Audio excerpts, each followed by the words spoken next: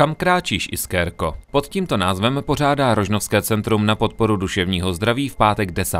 února Den otevřených dveří. Snažíme se rekapitulovat, co jsme udělali za ten minulý rok a jaké plány máme do roku následujícího. Děláme ho už třetím rokem a chtěli bychom eh, umožnit veřejnosti, aby se podívala na ty naše nové prostory, eh, aby si je mohla projít. Novými prostory je myšlen tento dům sousedící se stávajícím sídlem Iskérky. Právě sem se nedávno přestěhovali rukodělné dílny, za kterými dříve docházeli klienti do budovy vedle prodejny Albert. Při té příležitosti bychom rádi nabídli veřejnosti ukázku z možností koupě malých eh, dárečků, které zde spolu s klienty vyrábíme v rukodílně. Představí se naše rada uživatelů, která v minulém roce vznikla. Představíme dva mezinárodní projekty, které realizujeme spolu s holandskou organizací partnerskou.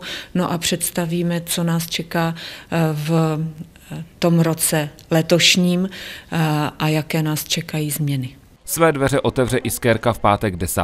února už v 9 hodin ráno. Slavnostní zahájení, na kterém nebude chybět ani pěvecký sbor rožnovských seniorů Rosenka, je naplánováno na 13. hodinu.